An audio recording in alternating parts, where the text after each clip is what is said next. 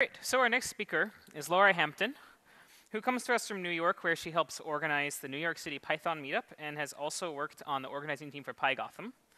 She's currently active on the Warehouse project, but comes to us today to talk about the notoriously tricky problem of distributed consensus, or how you can make computers agree on things in the face of unreliable networks, garbage collection pauses, and other nasty things that make requests get lost.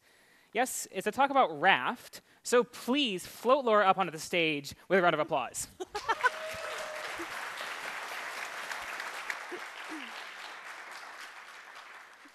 Thank you very much. My name is Laura Hampton, and I'd like to thank the organizers of North Bay Python and the sponsors for making the conference possible and for having me to speak to you all today. So, you want to build a fault-tolerant and scalable system that can serve a lot of requests from a lot of people in a lot of places. But you can't use a single machine because it's not reliable, it's susceptible to crashes and downtime, it needs maintenance, and if it's far away from your users, the ping times are going to be insane. So the solution is to use a cluster of machines. But how do we get them to work together? The network connections between them are not reliable. Messages between them may be duplicated or may not arrive at all or may arrive at some arbitrary time in the future. The machines themselves may crash or fail or leave the cluster and then come back all of a sudden. The other thing is we don't want to involve people to fix things. Chances are if there's an algorithmic way to, to get your computers working together, you want to rely on that instead of having somebody come in at 3 a.m. on a Sunday when their pager has gone off to go and press buttons and plug things in. So, in order to do this, you need a consensus algorithm. This allows you to build reliable systems from unreliable components and allows also the machines to recover from failures and network partitions automatically. So, to be effective, a consensus algorithm needs to have the following properties using a consensus algorithm increases overall system reliability. You have several machines doing the same job. And in this talk, I'm going to cover naive solutions to consensus and why they fail, then give a brief tour of Raft, which is a more sophisticated and fault-tolerant system, which is resilient to several different types of failure. I'm going to briefly touch on Paxos, which is a consensus algorithm that's kind of the granddaddy of Raft and also of all provably correct consensus systems. And then I'm going to speak about things to consider when dis deploying a di distributed system like Raft. So, in order to be correct, consensus algorithm must display the following properties. Agreement, every correct process must agree on the same value, which is also called the safety property. Validity, the value agreed on, must have been proposed by another process, so you can't have individual participants making things up or everyone storing none, which is called the non-triviality pro property. Termination, where every correct process eventually decides on a value, which is also called the liveness property. And to illustrate this last property, let's say you have Alice and Bob, and Alice wants to meet Bob at a restaurant at a certain time. But they're using a faulty messaging system that might drop messages or delay them for an arbitrary length of time. So Alice sends Bob a message and says, let's meet at Central Market at 8 o'clock for dinner. And Bob said, responds to Alice and says, I have received your, your invitation and I would like to accept, and I will see you at Central Market for dinner at 8 o'clock. So then Alice realizes that Bob doesn't know that she's gotten that message. So she has to respond to Bob and say, Yes, I am confirming your confirmation and I will see you there. And this process can continue indefinitely and results in a state called live lock, where no consensus is ever reached. Alice and Bob will never have dinner. And they just keep reconfirming and confirming, being like, yes, I'll see you there. And nobody gets to eat anything. So in consensus, there's also something called the CAP theorem, which states that there, it's impossible for a consensus alg algorithm to provide more than two of these properties. Consistency, where every read receives the most recent value, right or an error, Availability, where every request receives a response, but there's no guarantee it's the most recent. And partition tolerance, where the network continues to operate despite delayed or lost or dropped messages on, on the network. So now let's take a look at what could possibly go wrong. There is the fail stop or crash, where a participant does not recover and does not rejoin the cluster. A fail recover, where after an arbitrary time, caused by processing delays, networking delays, or network partition, the, one of the participant drops out and then comes back. Um, network partition, where a cluster participant is separated from the others due to failure of part of the network or through a change in network topology. And a Byzantine failure, where one of the participants in the cluster displays arbitrary or mal- malicious behavior and sends contradictory or conflicting data to the other participants. Now, the Byzantine failure was named for a paper in which nine Byzantine generals are surrounding the city. They can only take the city if they all decide to attack at once. The messengers between them may get lost or captured. And one of these generals is a spy, and he's going to try and foil the other general's plans. He may send an attack vote to four generals planning to attack, and a retreat vote to four generals planning to retreat. And in this instance, the traitorous general is the malfunctioning machine in the cluster, which is sending contradictory or conflicting information to the other participants, and it's a difficult problem to mitigate. And RAFT does not officially mitigate Byzantine failures, but it can handle some instances of it. So, in this talk, I'm going to use terms from the RAFT paper, because terms in distributed systems can be confusing and can get overloaded. So in all of the following examples, including Raft, the client sends data and is not a participant.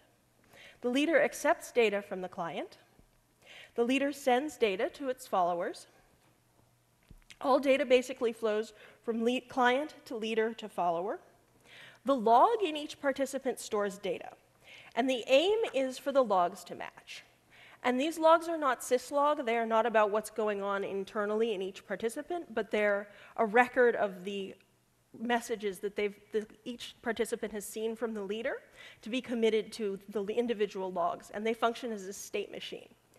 And in the examples that I'm going to give, logs store numbers, but they could also store um, system commands, they could also store database rights that they could be anything that changes the state of each participant. So let's take a look at some simple consensus algorithms and see what happens. So this is two-phase commit.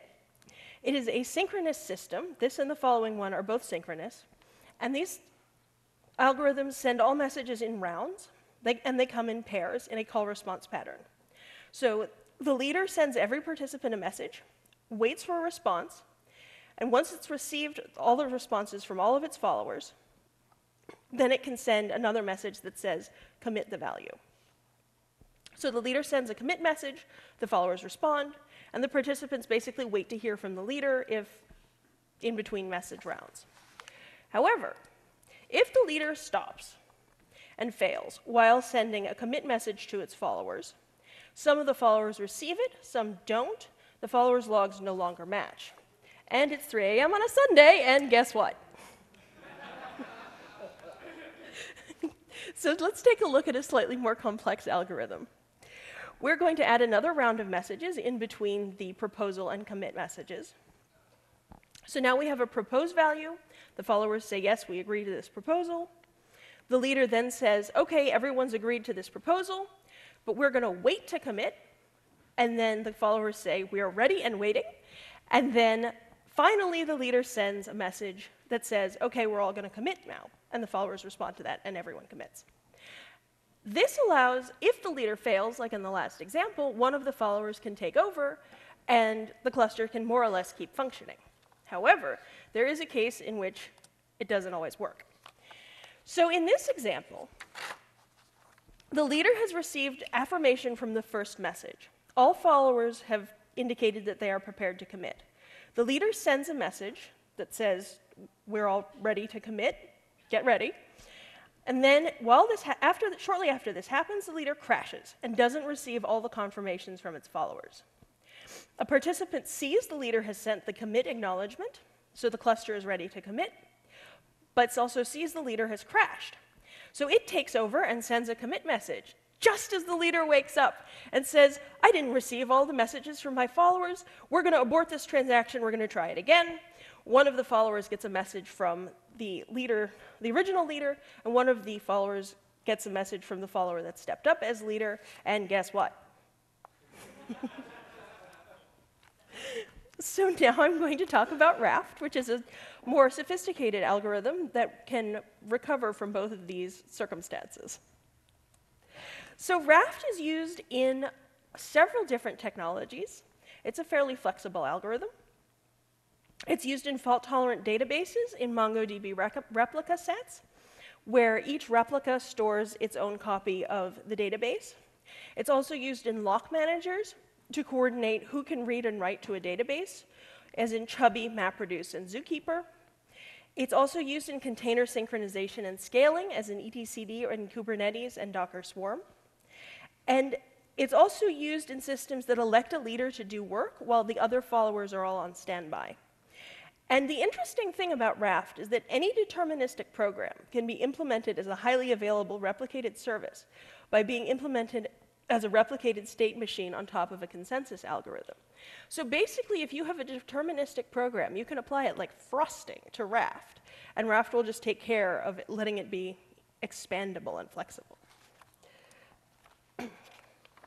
so, Raft is a consensus algorithm that was created by Diego Ongaro at Stanford in 2014.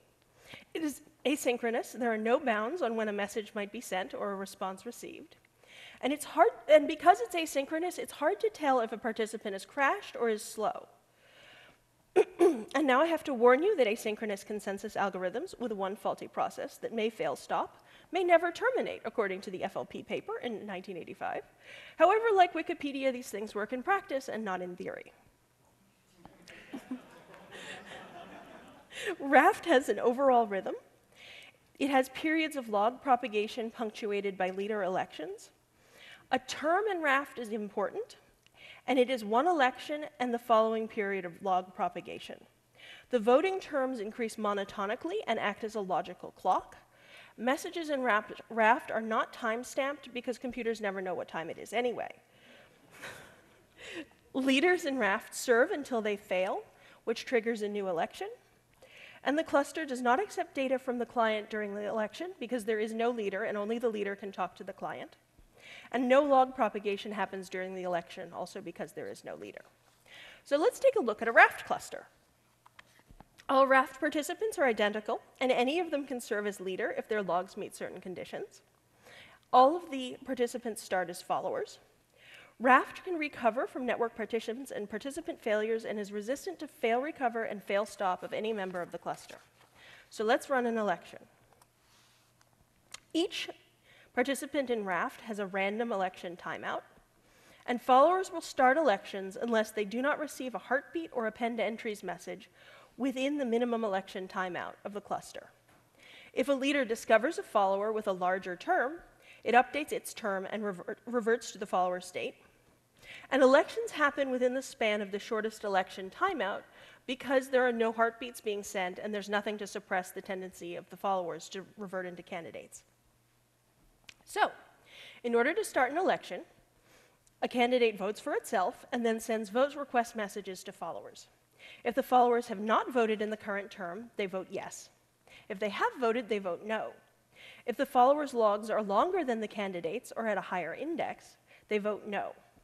If the followers have heard from the leader via a heartbeat or add entries within the minimum election timeout, they vote no and do not update their term. And the, in terms of the timing for your Raft cluster, the time it takes for a leader to send messages to its followers must be an order of magnitude less than the election timeout, which should be a few orders of magnitude less than the mean time between failures of the participants to ensure progress. So now we have a leader, and we can enter the log replication phase. The leader is the only participant that can accept data from the client. The leader proposes log entries to all of the followers. When a majority of the followers have responded, the leader sends a commit message to followers, and then they all commit.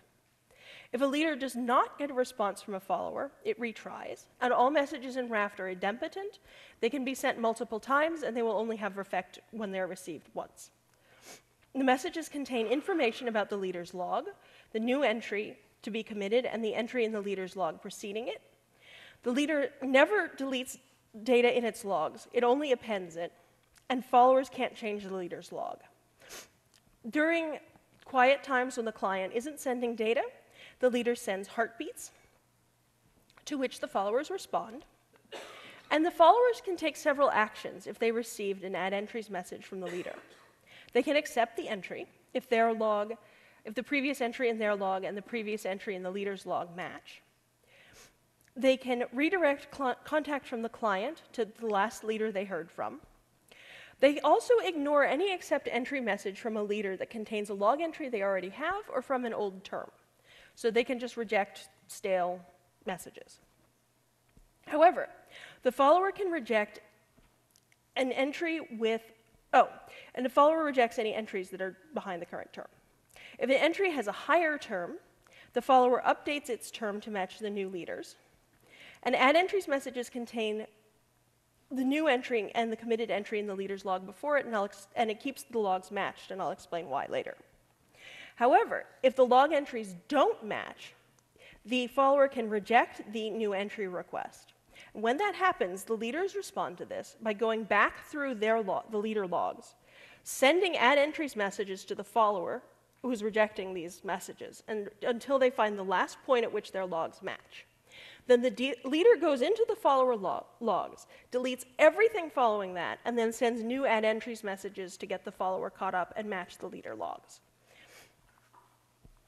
And this some, prevents some kind of failures, and if you have a follower that's slow or not getting all the messages, then this allows the leader to get it caught up with everyone else in the cluster.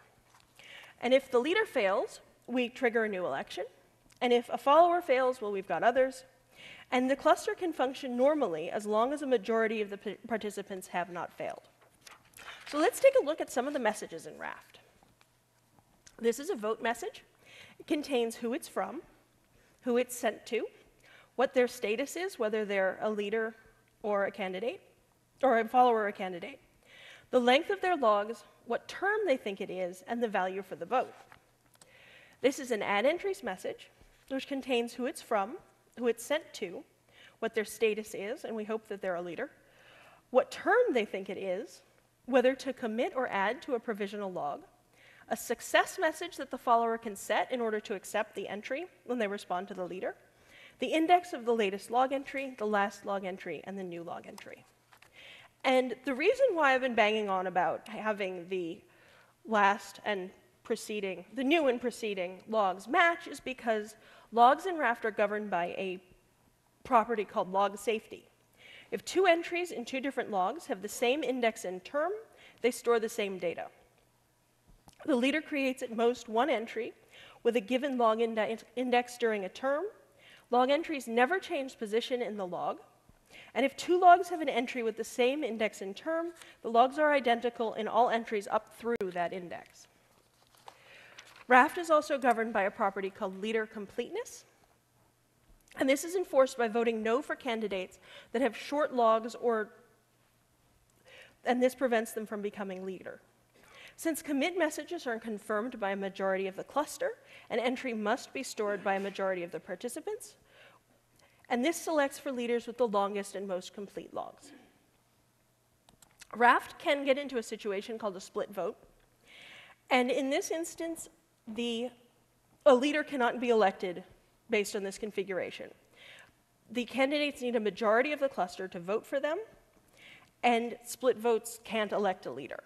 And in this case, what would happen is since heartbeats are not being sent, one of the two followers will reach its random election timeout, will revert to a candidate, will update its term, and will send a message to the rest of the cluster, which will hopefully vote for it and we'll have a new leader again. Raft can also get into a situation where it can recover from network partitions. In this case, the two of the participants have gotten separated from the rest of the cluster, and messages are arriving slowly or possibly not at all. And in this case, one of the followers has timed out and has become a candidate. However, it cannot get elected leader. The leader will, once the partition is resolved, the leader will, get, will contact the candidate, which will revert back to follower state, and the leader can get the candidate and the, the separated nodes logs back up to date. Raft also allows for an interesting um, process called log compaction, where logs can become too long and unwieldy to store and replay. So the solution is something called a snapshot, where the entire log is written to stable storage as a single blob. The snapshots contain metadata about the last term and log index. The snapshots can be sent to new or slow followers to catch them up as a single block. The followers can snapshot at any time without leader permission, and this keeps the Raft cluster moving ahead at a fairly steady clip because depending on the level of virtualization, it can take between 1 and 10 milliseconds to write a new add entries to stable storage. So all of the Raft logs are kept in volatile storage, and the snapshots allow the, all of the new logs to be written as a single chunk in one shot. Raft clusters also automatically handle membership changes because it may be necessary to add or remove large numbers of participants due to config changes or updates or maintenance. In this case, it's important to avoid having two majorities that elect two different leaders. And so during this process, log entries are sent to and committed by both um, clusters, the old and the new. And a participant from either cluster can serve as leader. Agreement on elections and entry commitment require majorities from both clusters, and because it can take time to swap out and add the new participants, the cluster can continue to serve client requests while this maintenance is going on. Um, in order to effect this change, a config mes message called old comma new is sent and committed by the leader to both conjoined clusters. So even if a leader fails, a follower with only the new config cannot be elected. Finally, the leader sends out a message called new, and then the servers are updated and the old ones can be shut down. So, we have reached the end of Raft. In order to get data out of a, of a Raft cluster, um, the leader sends a round of heartbeats once a majority of the followers have responded, then it will serve the client request. So now we've seen how Raft works and how it can recover from certain kinds of failure. Um, some, it can recover from some Byzantine failures, but it's recommended that you run Raft in secure network environments, and a lot of the time with Docker Swarm, you will connect them cryptographically so they exchange keys so that you can't have people adding malicious nodes to your cluster, which would be bad. So we have earned ourselves a trip to a Greek island, the island of Paxos.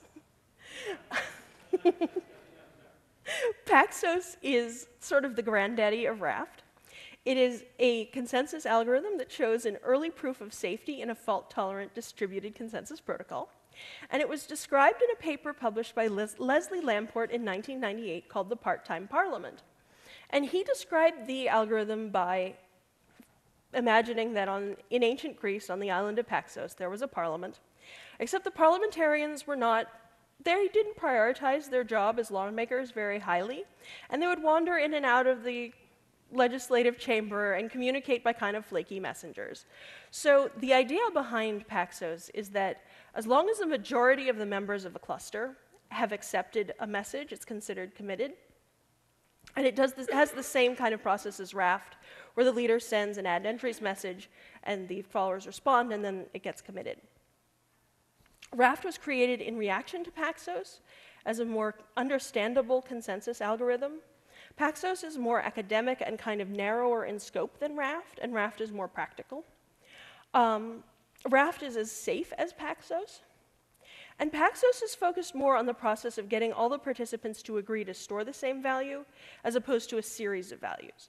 And one of the things about Paxos is there isn't really a mechanism for getting followers who might have missed messages or not committed messages to get their logs caught up with the rest of the cluster. Leaders in Paxos are also not distinguished, and any member of the cluster can send a message saying, hey guys, commit this. So, let's see how Raft works when it's time to actually use it. So, when setting up a cluster, it's important to keep the following things in mind. The need for reliability, frequency of planned maintenance, and how it might affect the system, risk, performance, and cost. And a raft system with two F plus one nodes can tolerate F failures. So increasing the node, however, increasing the nodes does not necessarily increase capacity. Three-fifths of a five-member cluster must be available for a quorum, but four-sixths must be available in a six-member cluster. There are also performance considerations when deploying raft clusters. Increasing capacity by adding more followers puts pressure on the leader's computational and bandwidth resources. There are constraints on performance. Raft is not designed as a performant algorithm. Higher performance distributed algorithms tend to rotate leaders or use a single stable leader. The leader in Raft is kind of a bottleneck on performance because the outgoing bandwidth may restrict the number and size of messages that might be sent to the follower. And leader performance problems can also limit the throughput of the algorithm. The other thing to think about is network latency. It affects performance and it can be quite significant. Round tri trip times within a single data center may be on the order of one millisecond, but within the United States, it's on the order of 45 milliseconds, and between New York and London, it's around 70 milliseconds. So that's an important consideration to think about where you're going to locate your replica nodes. And one thing to keep in mind is the idea of failure domains, that the number of components affected by a single failure. So if you're running your whole raft, cluster on one machine, if the machine fails, you're out of business. One, if you have a rat running your cluster on one rack in a data center and it's using a single power supply, that power supply is limits your bounds your failure, and if that fails, you're done. Um, several racks in a data center using a single piece of networking equipment. If that networking equipment fails, your cluster's down. A, and data center connected via a single piece of fiber optic cable. If the cable gets cut, then you're offline and a set of data centers in a geographical area that could be affected by a natural disaster. And if you have that natural disaster, then you are also offline. And as you can see, as the distance between the replicas increases, the, no, the latency increases, but the size of the failure it can tolerate also increases. However, if all the users, users of a cluster are in a single geographical area, they can, it might make sense to locate the cluster near them so that they have low ping times. And if there's like a major disaster that affects them, then your users are going to be offline too. So everyone can eventually recover from the disaster, but you don't have to provide service for them because they don't have internet. So sometimes people ask me where Raft got its name. And I found this from Diego Ongaro on a mailing list. And it's a sweet little story, so I thought I would share it with you. There's a few reasons we came up with the name RAFT. It's not quite an acronym, but we were thinking about the words reliable, replicated, redundant, and fault tolerant. We were thinking about logs and what can be built with them. We were thinking about the island of Paxos and how to escape it. As a plus, we were using the randomly generated name Chizomi in the paper before we came up with the name Raft in September 2012. The name appeared just over 100 times in our paper submission back then, so switching to the shorter name actually helped shrink the paper down quite a bit. if you want even more detail, we had trouble coming up with a good name, so we made it an explicit agenda item during a RamCloud meeting. I found two photos of the whiteboard during and after that meeting that I attached here. Looks like the top contenders were Raft, Knox, as in Fort Knox, I guess, Redundo, and CloudSense. No clue. I don't remember the details of how we ended up with Raft, since it didn't obviously win the vote, but I do remember the name caught on really quickly. People seem to like it almost right away. I'm so glad it's not called Redundo. So thank you very much. Hey. Thank you, Laura. Thank you. Thank you.